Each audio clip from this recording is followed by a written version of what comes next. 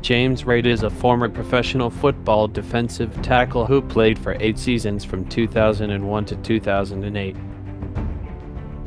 Reed was born on February 3, 1977 in Saginaw, Michigan. In college, Reed played for the Iowa State Cyclones in Ames Iowa. Reed was drafted by the New York Jets in 2001 in the seventh round as the 206th overall pick. Over eight seasons, Reed played for the New York Jets, the Kansas City Chiefs, and the New Orleans Saints.